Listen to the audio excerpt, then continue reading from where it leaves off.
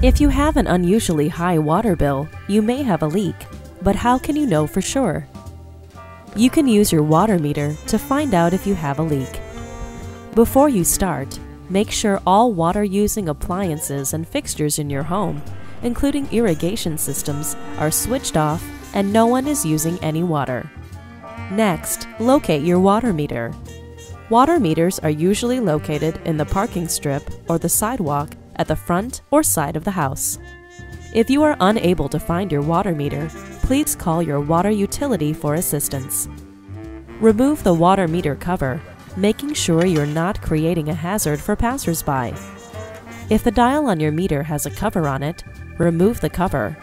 Or, if it is muddy, give it a quick clean with a damp cloth. The quickest way to see if you have a leak is to look at the small dial on the face of the water meter. It's white, silver, or black in color. If the dial is not moving when no one is using water, you don't have a leak. If it is moving, you have a leak. To find the leak, locate the main water shutoff valve for your house and turn it off.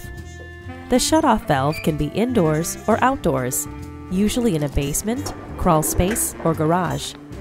If you don't have a shutoff valve, we advise that you arrange for a plumber to install one.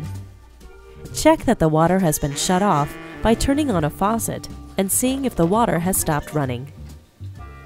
If the dial stops moving after you've turned the shut-off valve off, your leak is inside the house, more than likely in your toilet. To detect a toilet leak, watch our video on finding and fixing toilet leaks.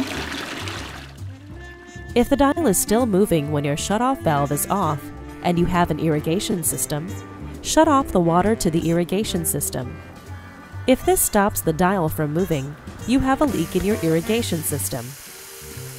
If your water to the house is shut off and you either don't have an irrigation system or the irrigation system has been shut off and the dial on the meter is still moving, you have a leak between the meter and your house and will need to call a plumber to repair it.